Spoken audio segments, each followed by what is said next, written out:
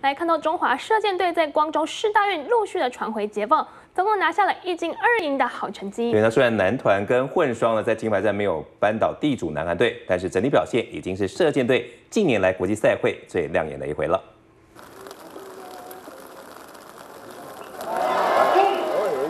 射箭反曲弓混双金牌战进行到关键加射，突如其来的雨势，我国谭雅婷跟魏均衡受到影响，最终以四比五输给了南韩队。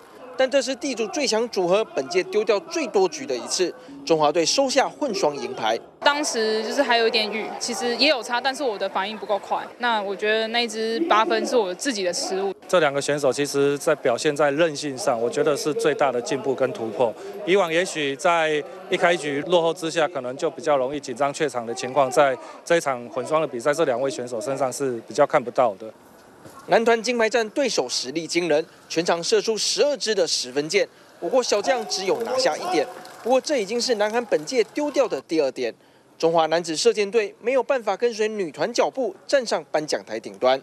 不能让他们太轻松，或者也要给他们一点压力什么的。几乎都是第一次参赛的啦，那第一次就有这么好成绩，其实算不容易啊，啊，因为毕竟第一次还好，就是也没有很多人给我们压力，所以自让我们自然发挥这样。耐心是射箭其中一项要素。不放弃是运动员必备精神。中华反曲弓代表队屡败屡战，终于在国际赛会突破长达十年的临近障碍。他们能够将自己平常练习的水准发挥出来，那就是这一次主要获胜的一个一个关键啊。选手对于国际赛的这一种凝聚的意识啊，跟这个球上的意志啊，越来越强。所以面对到韩国队，我觉得我们选手已经习惯了，不会是像以前这样，还有会害怕压制造压力给自己。中华射箭队在光州市大运大丰收，留下一金二银的好成绩。